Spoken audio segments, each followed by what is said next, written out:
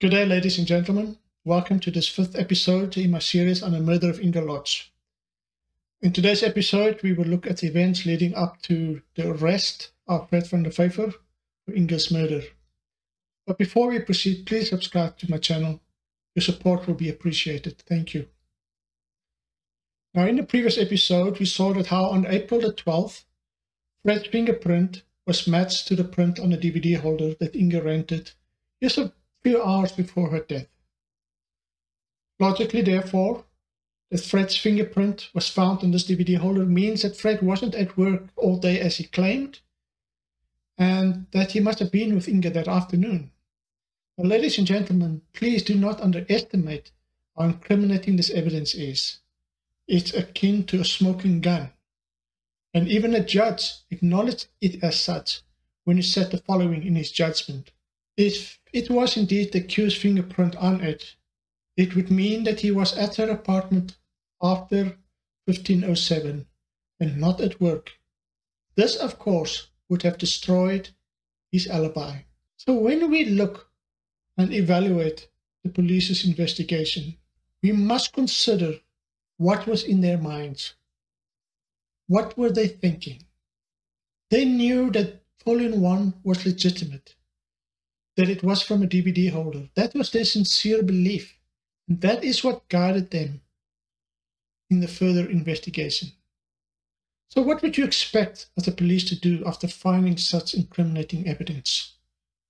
Should you go easy on a suspect and keep looking at other suspects because you don't want to appear to be developing tunnel vision on one particular person? Or do you shift your focus of your investigation to that person who you know left behind very incriminating fingerprint evidence. Especially considering that up to that point, there were no forensic evidence that pointed to another suspect. We expect a lot of our police and we want them to be efficient and effective, to put our tax money to good use, to make the best of the time and resources. We certainly do not want the police to be chasing ghosts when there was already a suspect in the flesh against which there very strong evidence. Now, the police did not immediately act on this information and did not apply for an arrest warrant immediately. Instead, they decided to further the investigation and to look for more evidence. And to that end, they applied for search warrants to search for Fred's office, his flat, and his vehicle.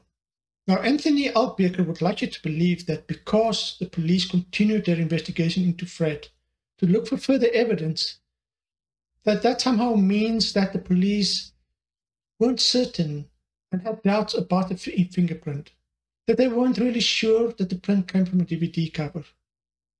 That's absolute nonsense. In any investigation, your goal is to collect as much evidence you can to put forward your strongest case even if all this evidence results in a lot of redundancy. So while the police were getting their search warrants in order, on the 14th, Fred and his father negotiated with Old Mutual to grant Fred unpaid leave. Old Mutual agreed and even offered to pay for a flight ticket to East London.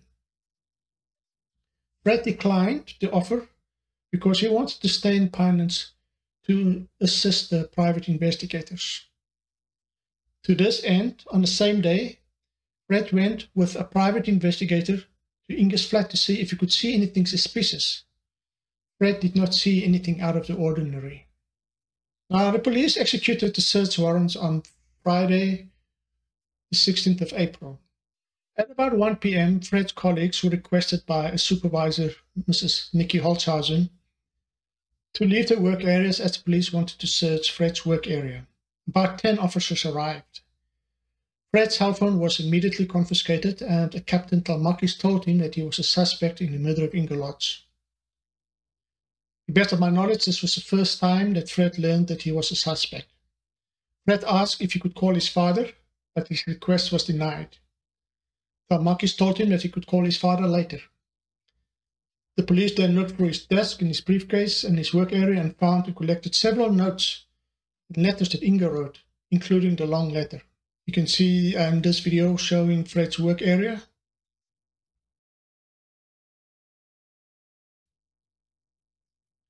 So after the search at Old Mutual, they drove Fred to his flat in Anfield Village. And here are some photos that the police took of the flat.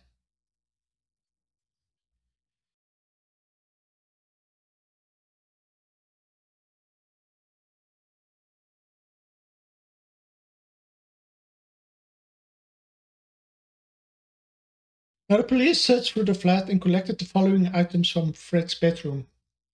A long grey coloured pants, a blue shirt, a black polo fleece jacket, and a striped shirt. These were all bagged by Inspector Koch, and per normal process, Fred was asked to sign each evidence bag, which he did. A variety of shoes were found in the wardrobe, and these were handed to Superintendent Bartholomew, wanted to see if any of the shoes was a match to the identified unidentified shoe print he found at the crime scene. So one of the shoes that was found was this Hi-Tec squash shoe. It seemed as if the shoe has been recently washed and that the shoelaces have been taken out and tucked into the toe area of the shoe.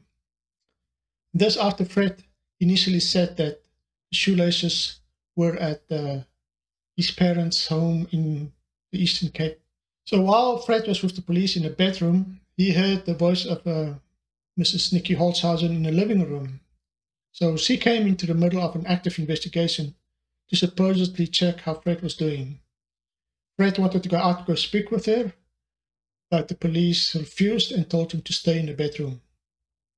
I'm not sure if they had a warrant for this, but the police also conducted a search of Marius Botha's room, with Fred being present. So after the search through the flat, the police took uh, Fred back to his vehicle that was parked uh, in the Old Mutual parking lot. And then accompanied by Tamakis, Fred was asked to drive to the Bishop Lavis police station. And there was a discussion during the drive, a conversation between Tamakis and Fred. Tamakis told Fred that they had evidence that places him at the crime scene the afternoon of Inge's death, and that he murdered her. Fred replied that, that it's simply not possible. Tamaki said that he could see that they were very much in love, but that something went very wrong that afternoon. He also threatened he also threatened Fred that he would send him to prison for life. Uh, Fred supposedly started fearing for his life because he thought at that time nobody knew where he was. Can you imagine, ladies and gentlemen, the cold horror that must have ripped through Fred when he found out that his fingerprint was found on that DVD holder? He must have known how incriminating it is. So after Fred parked his vehicle at the Bishop Lavis police station, the police asked him if he had any valuables in his vehicle. And Fred told him that he had a hammer under the seat, which was a gift that he received from Inge's mother. He then took it out and showed it to the police. And the police told him to put it back where he found it. So Fred was then taken inside the police station building for further questioning, and the police continued to photograph his vehicle and to conduct a search through it. The following items were collected and placed in evidence bags. One hammer, an ornamental hammer, with a bottle opener on the one side, a pair of scissors with orange handles, a hair from the blade of the scissors, as you can see in this photo, a wheel spanner behind the seat, a black bag with a shirt and pants in the back of the vehicle, a seat cover underneath the driver's seat, and two seat covers under the passenger seat. So meanwhile, in the police station building, Fred was facing a very aggressive, sometimes good cop, sometimes bad cop interrogation by a variety of officers. Apparently, the police used a lot of foul language they shouted and screamed at him, banged him furniture, reenacted the murder, threatened to show him photos of Inge, threatened to put him in post Pollsmoor prison with some very bad people that might kill him, and they even accused him of having a homosexual relationship with Marius Botha. But Fred steadfastly maintained his innocence, and at some stage he refused to talk, uh, to exercise his right to remain silent. Repeated requests for him to call his father was were denied. And after about four hours, the interrogation finally ended at about 7 p.m., at which time Fred was allowed to call his father, who at the time was in Grabouw, probably anxious to hear from Fred.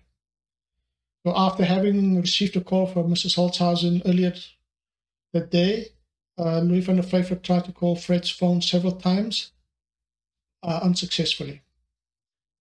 Uh, Fred was very emotional and asked his father to come immediately. So according to Louis van der Vyver, he drove from Grabouw to Pinelands in about half an hour and sometimes driving as fast as 210 kilometers per hour. He said that when he arrived at the flat, Fred stormed at him and just collapsed in his arms, a completely broken man. Fred was in such a state that Mrs. Nicky Holzhausen had to take him to the hospital where he was administered a sedative. Uh, Fred's father then decided to stay behind and not to leave Fred alone in case the police wanted to arrest Fred. On April the 22nd, Fred, accompanied by his father, went to a doctor in Stellenbosch, where in the presence of Inspector de Villiers, blood and hair samples were obtained from Fred. These samples were then delivered to the forensic laboratory four days later on April the 26th. Now, on 25th of April, Fred had an interview with the private investigators where he was supposedly asked some hard questions. And all the questions and his answers were recorded and written down. Afterwards, they advised Fred to volunteer for a polygraph test. And Fred agreed, and the investigators proceeded to arrange one, which Fred undertook on April the 29th. And apparently, he passed the test couple of remarks regarding this. I want to know when Fred was asked, was Fred asked the same questions that he was asked four days before by the private investigators? And did this help him to get through the lie detector test? Secondly, the test was conducted by a private firm, likely paid by Louis van der Vyver, and it was not done by the police. And then I would like to know was this the first and only test that he did? Or were there perhaps tests before this one which he did not pass? Because if he failed the test, we certainly would not know about it. Now, there are several well known countermeasures that the person can use to read the polygraph test. And this is well documented in the research. The one way is to inflict pain and discomfort on yourself during the interview by, for example, pricking yourself with a sharp object. The body's response to this would lead to an elevated baseline readings that would mask deception. Another way is to suppress the body's reaction to deception by using drugs such as sedatives and tranquilizers.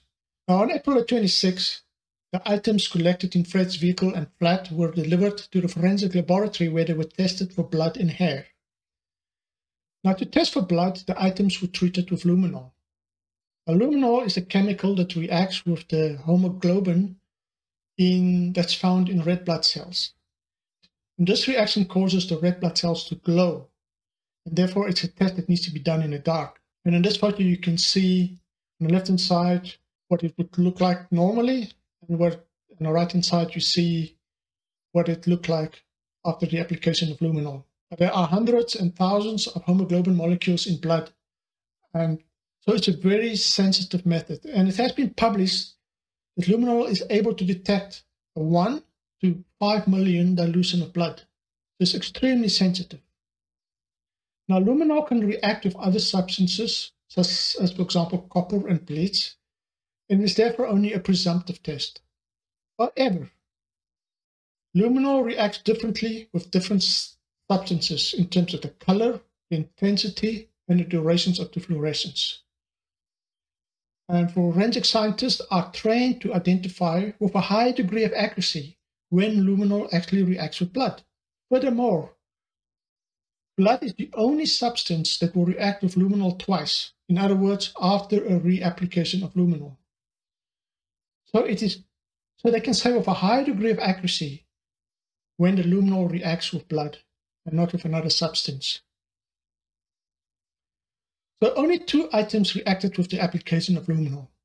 And according to the to the laboratory staff, both reactions were consistent with the presence of blood in terms of its color, intensity, duration, and very importantly, repeatability. Now, the first item was the orange handled scissors found in Fred's vehicle. According to the laboratory staff, the reaction was observed on the blades close to the handle, but not on the tips. So it seems unlikely that the scissors were used to stab someone. A sample was collected for DNA analysis, but unfortunately, there wasn't enough DNA to develop a profile. The second item was the ornamental hammer that was found under the seat of Fred's vehicle. Now, the reaction was observed on the rubber handle. There were a long oval and shorter mark on opposing sides of the handle that, in the opinion of the analyst, corresponds comfortably to the thumb base and finger base areas of the hand. It looked like somebody gripped the handle. There was no reaction on the metal shaft or the hammer head, and it seemed to indicate the possibility that the hammer was cleaned very well. So every little bit of the luminol liquid mix was collected for DNA extraction. Now, a DNA analysis was performed, and the best that could be determined was that the DNA material found belonged to a male person. They, they couldn't even determine for sure that it belonged to Fred van der Vyver. Now, considering that Fred handled the hammer shortly before the police took it into possession when he took it out from behind the seat, one would expect his DNA to be found on the hammer. It should be noted that Fred never claimed nor admitted that he has ever bled on a hammer. Now, the fact that female DNA wasn't found on hammer is that 100% conclusive proof that the blood that was observed on the hammer could not be from a woman. Absolutely not. And let me explain you why. So let's start with biology. In blood, you have two types of cells red blood cells and white blood cells. Now, red blood cells have iron rich hemoglobin, and that is what react with luminol. But red blood cells do not have DNA. White blood cells do. But in blood, there are many more red blood cells than white blood cells. In fact, only 0.2% of all cells are white blood cells. In other words, for every white blood cell, there are about 500 to 600 red blood cells. And considering also how sensitive this test is, you don't need a lot of red blood cells to show a reaction. So in practice, it can be extremely difficult to find a sufficient number of white blood cells to develop a DNA profile. It is said that you need about 40 white blood cells to develop a profile. And that could be very difficult, especially on a weapon that has been cleaned. Now, the forensic analyst prepared a Section 212 affidavit and signed it on June the 9th, 2005. And all that it said is that possible blood could be detected on the hammer and the scissors. Now, a Section 212 affidavit are sworn statements that must comply with very strict requirements of Section 212 of the Criminal Act, and they are used by forensic investigators to enter the result of scientific tests as evidence without them actually having to testify in court themselves. But one of the requirements of the Act is that it is not permissible to express an opinion or an interpretation in an affidavit like this. It doesn't matter how solid the basis for your opinion is. So in this case, the forensic analyst could not say what she really thought. She could not say that the nature of the luminol reaction was very highly consistent with blood. And to move away from possible blood to certain blood, a, definite, a definitive test for blood was required, but such a definitive test was never conducted because they decided to skip directly to DNA testing. And DNA testing is not a test for blood. But sometime after the hammer was tested for blood, on May the 17th, the hammer was given to Captain a ballistics expert. And his task was to determine if the hammer could have been used to inflict the wounds on Inge's head. Now, we know there were two types of wounds found on Inge's head round circular wounds, and linear wounds. And here the police found a hammer in Fred's vehicle where the round striking surface could have made the round wounds and the bottle opening part could have made the linear wounds. So Maritz took the hammer and did a one-to-one transparency overlays over the wounds on Inge's head, and he determined that the circular wounds had the same diameter as the striking surface of the hammer, and that the width of the bottle opener part was consistent with the width of the linear wounds. So here we see some overlays that my brother Thomas did to show how well the hammer fits the wounds.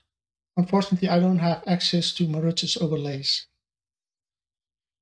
So using the hammer and another similar hammer, Maritz did experiments on pig's heads, sheep heads, clay, and lead in order to determine and to study the shape of the wounds that would have resulted from being struck by both parts of the hammer's head.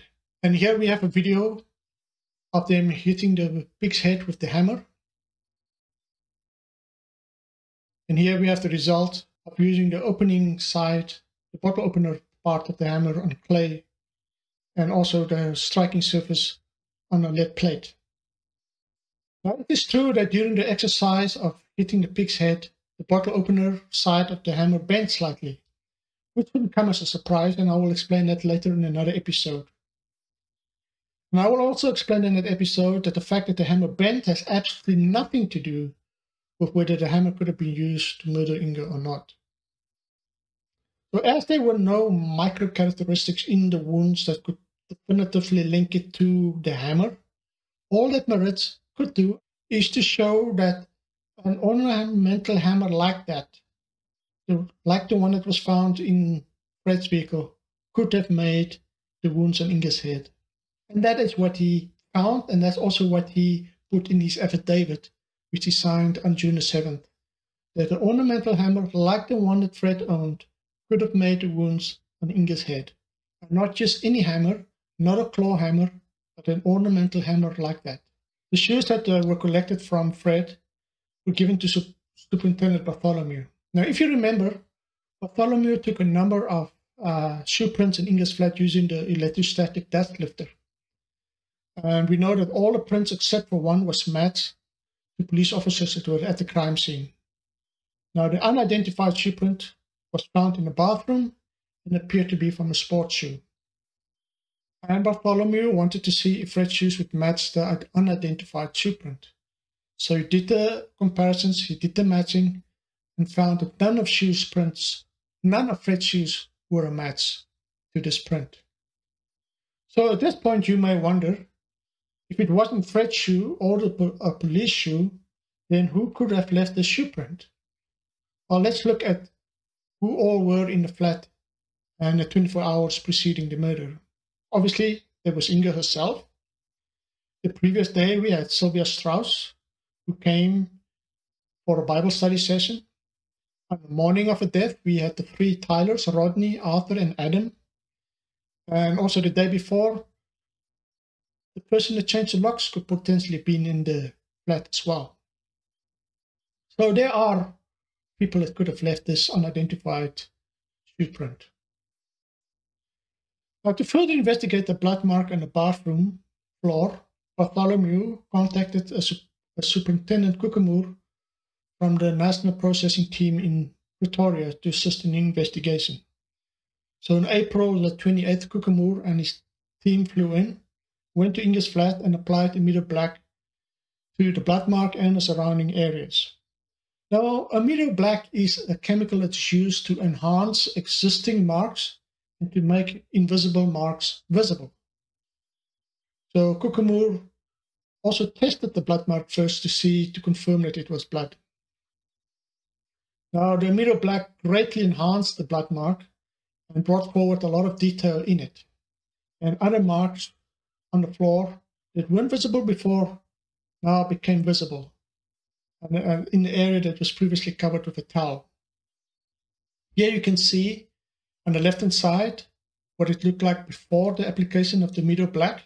This photo was taken at about 12 p.m. And then on the right hand side is a photo that was taken two hours later after the application of the Amido Black. And you can see how much more clear the blood marks are. So uh, on May the 5th, a Fred's attorney, William Booth, wrote a letter to Director Attie Trollip outlining Fred's alibi. It doesn't seem like the police were particularly interested in following up an alibi because they, in their mind, had very solid forensic evidence against Fred. In my opinion, it was a mistake for them not to do this, and in my opinion, they should have looked at Fred's alibi immediately after his interview the morning of the 17th. About two weeks later, on May the 28th, the after the police still have not taken any witness statements, the van der Vyver's uh, retained a private security firm called Cummix South to obtain sworn statements from a number of Fred's colleagues. And during the first two weeks in June, about two and a half months after the murder, and quite some time after Fred became a suspect, Cummix South obtained 14 witness statements altogether, of which nine were from Mutual Park staff who were either in the gap session with Fred or supposedly saw Fred there in the meeting or in his office on the 16th of March.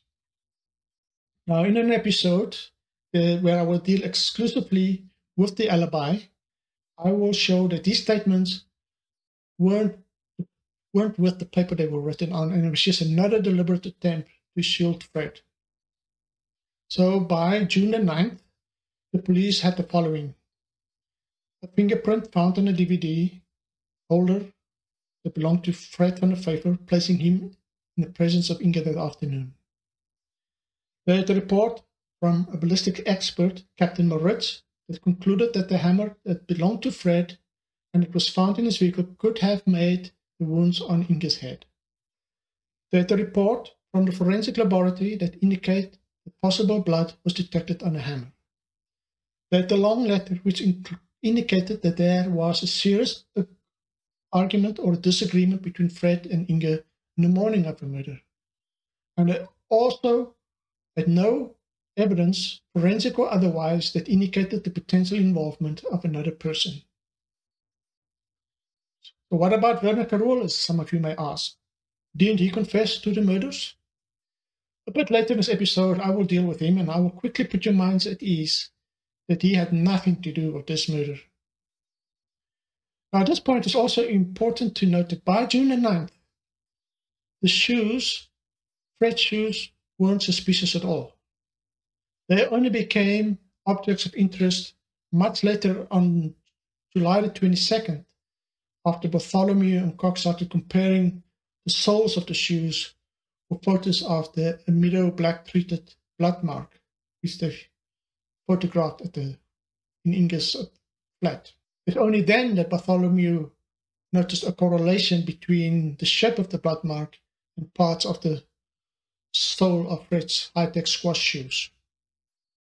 But I will talk about the shoes and the blood mark in great amount of detail in another episode.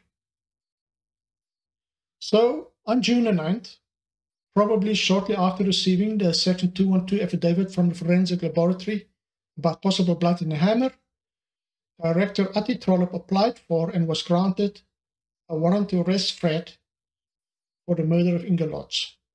So five days later, uh, Cummix South prepared an alibi report, which was sent to the Deputy Director of Public Prosecutions, uh, in which they said that Fred had an alibi for the 16th of March, that he was at work at Mr. Park between 1108 and 1806, and it could be confirmed by the following evidence.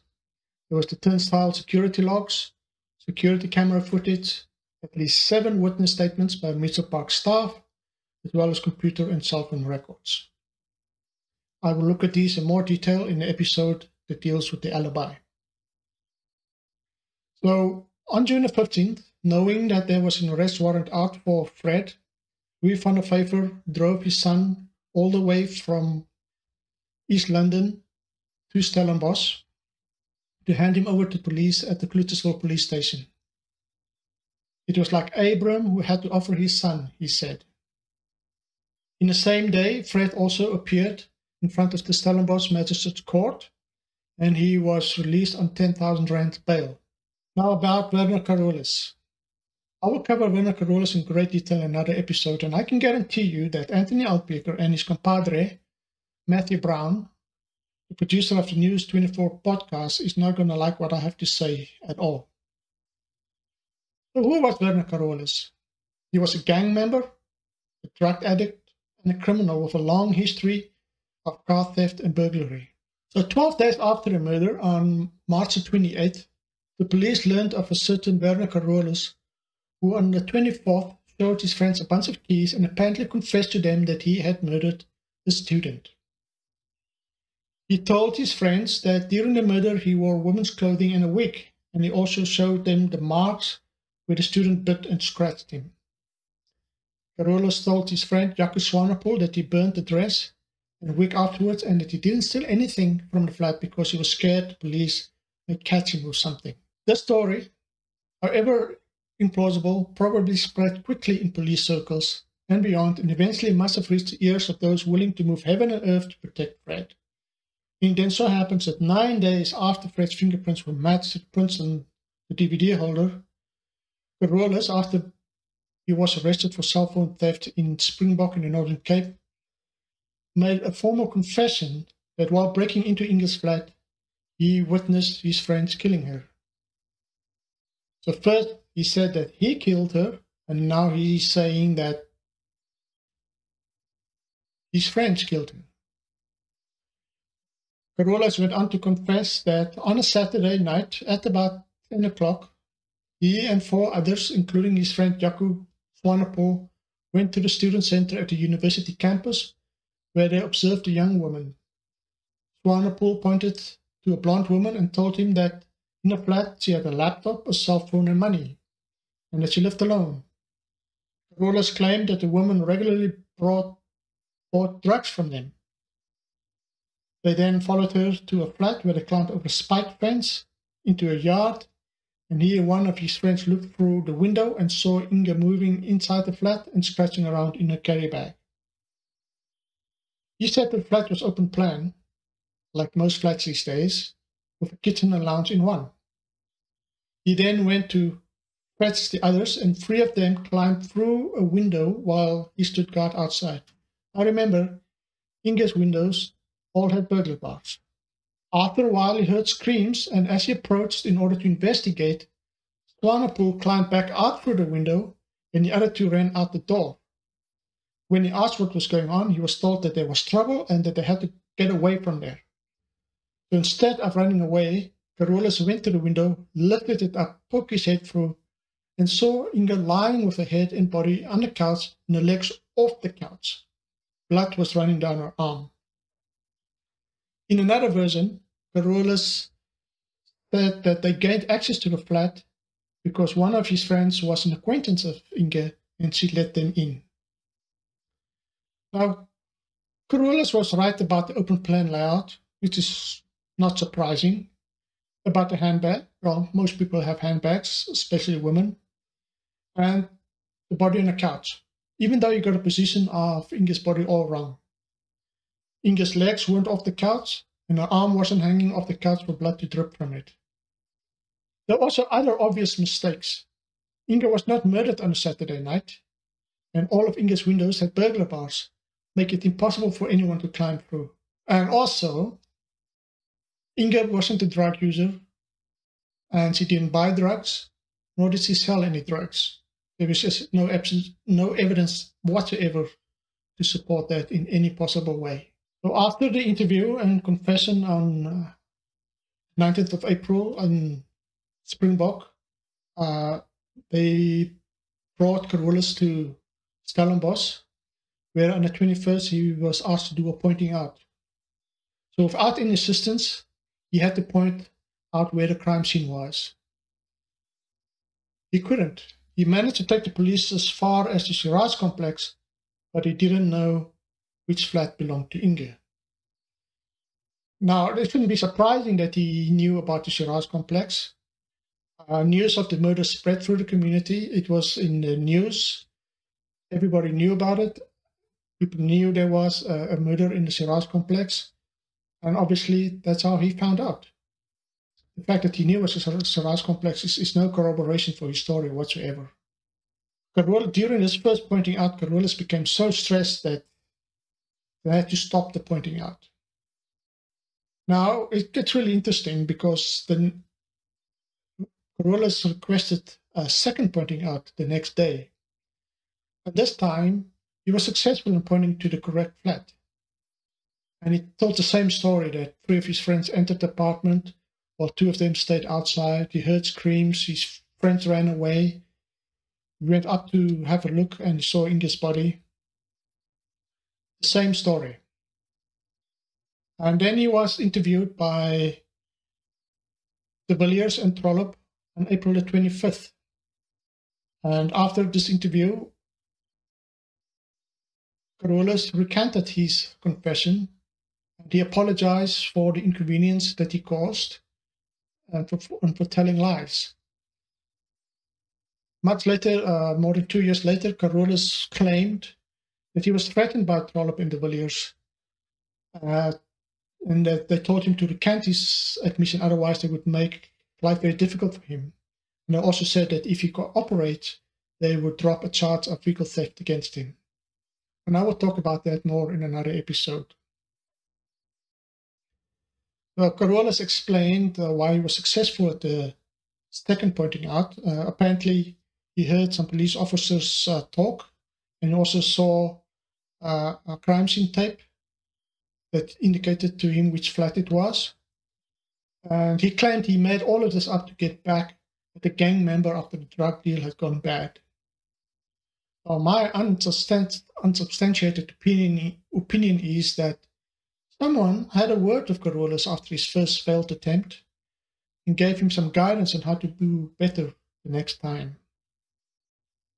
But during the criminal trial, the judge ordered that the police investigate Carolus for obstructing and defeating the ends of justice when he purposefully supplied the police with false information.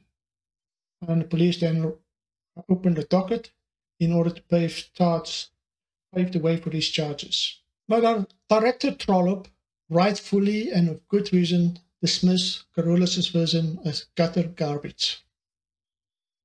However, according to Anthony Altbeker, director Trollip approached Carolus' statements with a puritanical lack of imagination and curiosity. He said that Trollip rejected Carolus' admissions with such confidence, not because of their errors and inconsistencies, but because he was already convinced that he had his man. He says that Trollip, after having seen the nature of the crime, that it was done by somebody close to Inge, the letter and the hammer, that Trollip persuaded himself that Carolus must be lying. So let's look at it again. Carolus said that Inge bought drugs. That's a lie. He said that Inge was murdered on a Saturday. That's a lie. He said that people climbed through a window. That's a lie. He said that Inge was murdered in the evening. That's a lie. He said that blood dripped from her arm. That's a lie. He said that her legs were off the couch. That's a lie. He failed his first pointing out. And yet, Trollip had to use letter and a hammer to persuade himself that Carolus was a liar? It's absolutely absurd. It seems that Trollip was at least intelligent enough to see Carolus for who he really was, as evidenced by the fact that Carolus went on to change his version several times. He started off by saying that he killed Inge, and then he ended up by saying that he saw Inge being killed by her uncle, and then the uncle cannibalized her by eating her flesh. I promise you, I'm not making this up, and I will go into a lot more detail in another episode.